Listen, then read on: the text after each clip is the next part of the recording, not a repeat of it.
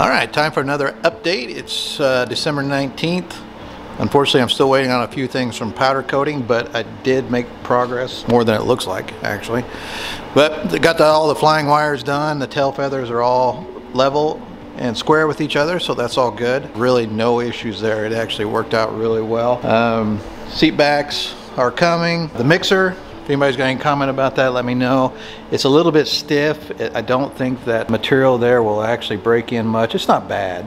And these little short sticks you can you can still see it a little bit. But I do have an idea on how to open that up a little bit. I'm just not sure if I should. Got Steve Henry's engine mount. That all fit correctly. Did a little cleanup mated the hole down at the bottom. So that's all going well. Also did Steve Henry's leading edge mod. One thing that actually worked out really well on it if, if you guys actually are doing the mod and happen to have one of these tools it was extremely easy to just lay everything out basically set this up lock it in place where it, it fits right on the back of the aileron and then it just has that angle locked into it. You mark all of them and and you're good to go. And this tool actually worked fantastic for cutting them. It actually went through them like butter. You just kind of leave yourself just a little bit of just a little bit of room outside the line and then sand back to the line and they all made it up perfectly. The leading edge that Steve sends uh, fit perfectly so I was very happy with that.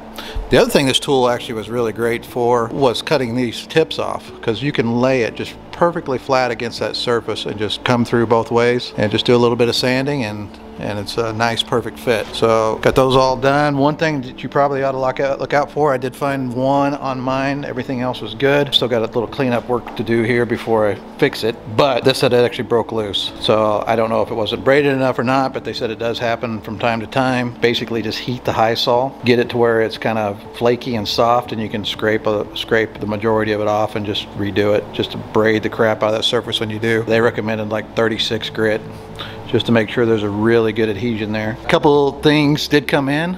Uh, show you real quick. Got my PDM from Hardwire Electronics. That's actually fairly light, but this has 25 outputs, 16 inputs. Uh, we'll talk more about that when I actually start doing my electrical. If you want to know some about it now, you can check out Josh Vincent over at P2 Aero. He's using the same type system. It's really cool. It allows you to do lots of neat stuff, which I talked about a little bit about in the last video, and I will uh, We'll get into that in detail as it gets closer. Did get my ECU from Hypersports, and this thing is a brick. It's a black box that's gonna survive just about anything. So very nice, very well made, but it, just so you know, it is pretty close to three pounds. So it's lots of potting in it. And this is the heater core I'm gonna go with. I am using the Yamaha, so naturally it's water cooled. So it uses a heater core like you would see in a vehicle. This is for kind of a universal one for a UTV. This is their slim mount from Inferno. It is actually fairly light. It's about four pounds all in. And it comes with your assortment of bits and stuff that you can order from them. And I think I showed you, but the heater core is actually going to fit in the front section of this cowling when I do it. So it'll be partitioned off away from the electronics and,